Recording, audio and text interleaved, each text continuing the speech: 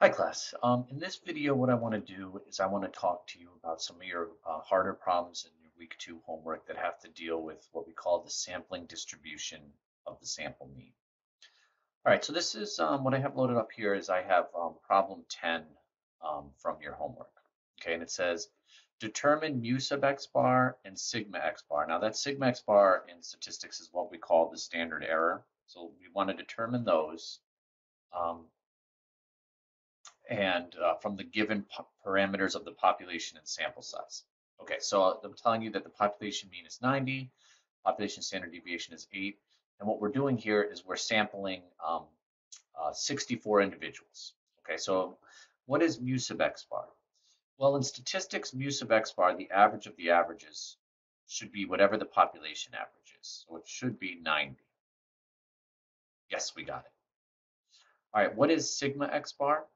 Well, sigma x bar is you take whatever the population standard deviation is, E, and you divide that by the square root of the sample size, which is the square root of 64. Well, if you plug that in your calculator, the square root of 64 is 8, and 8 divided by 8. This answer should be 1. All right, we got it. Great. All right, now let's try um, this harder problem, number 11 okay? And there's a, there's a lot of parts to this, okay? Suppose the lengths of pregnancies of a certain animal are approximately normally distributed. So on average, pregnancy lengths are 187 days and standard deviation is 11 days, okay? All right, so we got a bunch of problems here. So the first one, A, what is the probability that a random, just a single random selected pregnancy lasts less than 183 days?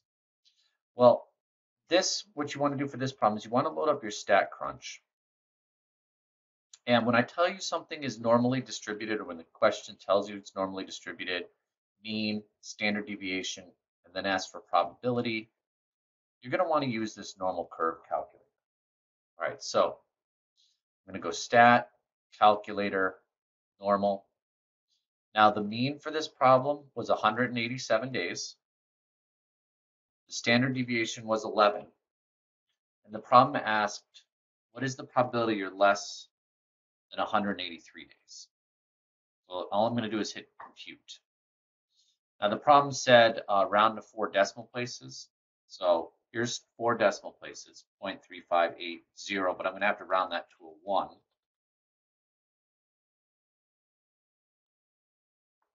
Let's check our answer. Yes, I got it. So the normal calculator solves that very quickly. All right, the next one. Um, the probability, okay, so it goes on to say interpret this probability. Okay, select the correct choice below. All right, so if 100 pregnant individuals were selected independent of the population, we would expect blank pregnancies to last less than um, uh, 130, 183 days. If 100 pregnant individuals were selected independent of the population, we would expect blank pregnancies to last exactly uh, 183 days. And if 100 pregnant individuals were selected independently from the population, we would expect blank pregnancies to last more than 183 days. Well, if we were going to um, select 100 pregnancies, what this is saying is that we expect roughly 36% of them to be less than 183 uh, days. So I'm going to select A. I'm going to round this to an integer, which would be 36 and check my answer. We got it. Next one, suppose a random sample of 18 pregnancies is obtained. Okay, describe the sampling distribution of the sample mean length of pregnancies. Well, because the original population is normal, right, we would expect that x bar to be normal. U sub x bar, the average of the averages would be the same, excuse me, as the real average, 187. And sigma x bar, well, remember, to find this, you take the population standard deviation, 11, and divide that by the square root of the sample size, which is the square root of 18 pregnancies. And that would be, and this says go out four decimal places, it would be 2.5927. All right, let's check our answers. Fantastic, we got it.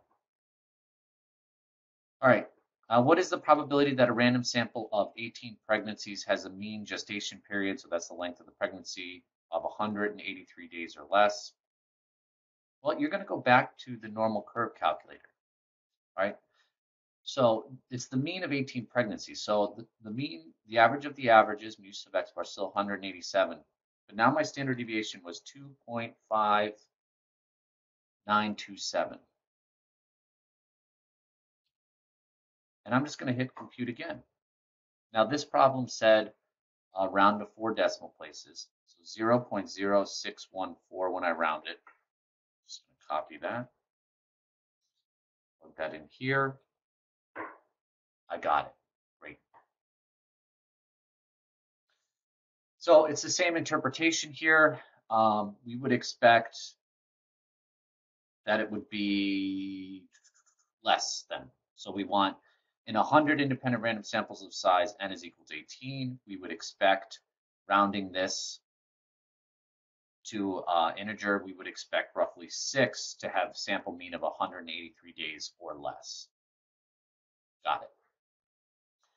All right, same thing here. What is the probability the random sample of 37 pregnancies has a mean gestation period of um, 183 days or less? Now here they're trying to trick you. They're changing the sample size to 37. So what you have to do is you have to find the new standard error. So that would be 11 divided by the square root of 37.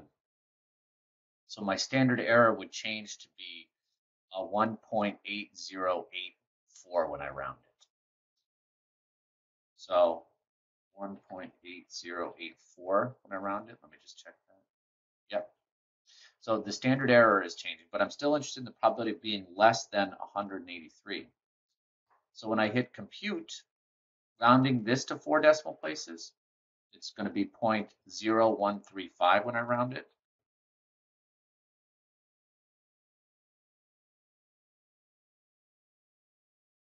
and you can see I got it. And it's going to be the same thing. We would expect them to have less than, so rounding this to the first integer would just be 1. So we got it. Okay, so what might you conclude in a random sample of 37 pregnancies result in a mean gestation period? This result would be uh, unusual because it's less than uh, 5%.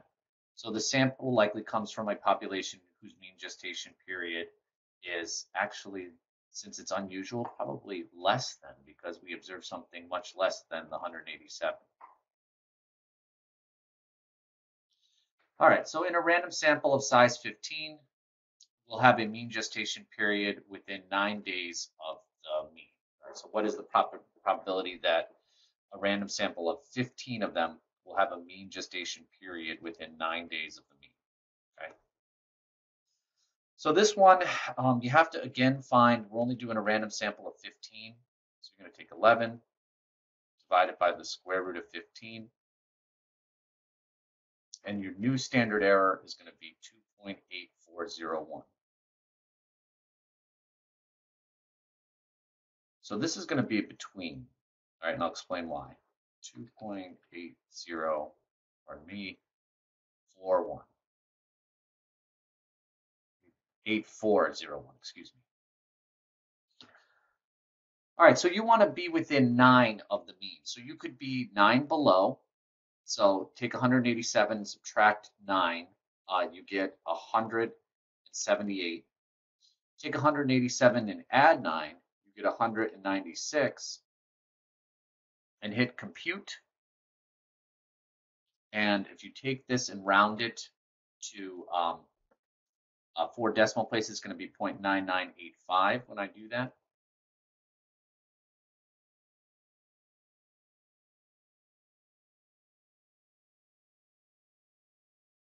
And we got them. So I know this was a little confusing and a lot was going on, but if you follow exactly what I did with the StatCrunch calculator, um, you should be able to get this problem.